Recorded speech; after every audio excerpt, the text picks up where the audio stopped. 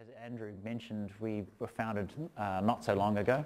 It stems from uh, an end user group which uh, was responsible for applying to the government for permission to release, uh, import and release 11 different kinds of dung beetle into New Zealand. At the end of that whole process, we continued um, uh, a commercial identity as Dung Beetle Innovations. So these are the 11 different kinds of beetles that we have permission to bring to New Zealand.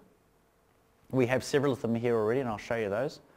How we do it? Well, we have a couple of facilities out in the South Kaipara um, where we have an arrangement of, of, different types of growing methods which all involve large volumes of soil upon which we put fresh, uh, largely organic manure free of chemicals so we know that beetles aren't going to be affected. Uh, and we um, put them through that basic cycle en masse and we collect the, the, um, the beetles as the new ones emerge out of the soil. So we do that in a different set of containers and locations. We utilize um, uh, soil en masse to fill up such large carrying capacity containers. So we have a very big operation out in um, Kaipara and as I say, Kauri behind you there is the one running all of that. Um, we also do a lot of research, so part of our mandate involves researching what we preach. We like to practice as well, so there's a lot of literature out there, but most of it is from overseas. Now, if we can show in New Zealand context the same sorts of results, then we can have confidence that what's being told overseas is applicable to New Zealand conditions too. And so far, the research that we are doing is in accordance with what's found overseas. So we have good confidence that what we bang on about is actually applicable here too. So we have a lot of research, a lot of collaborations going on um, just to see what's going on in New Zealand environment. Um, so we have these beetles in production at the moment, which one, two, three, four, five.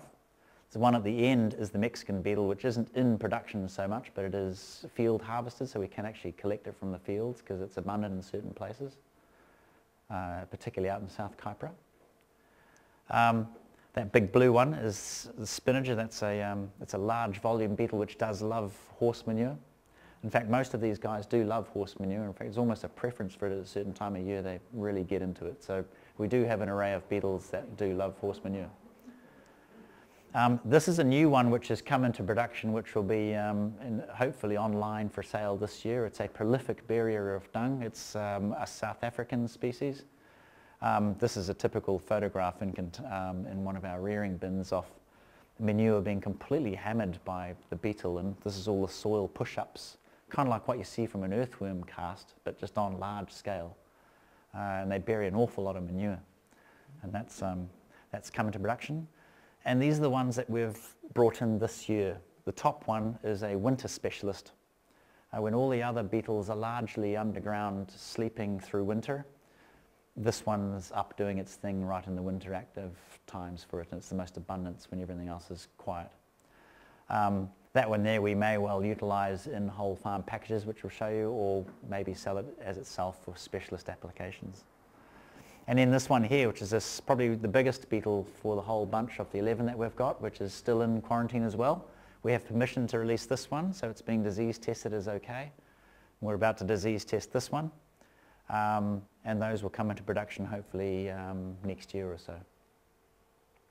Um, but that will complete our array of beetles. And why have we got so many different types of beetles? Well, it's simply because manure is produced by these animals all the time.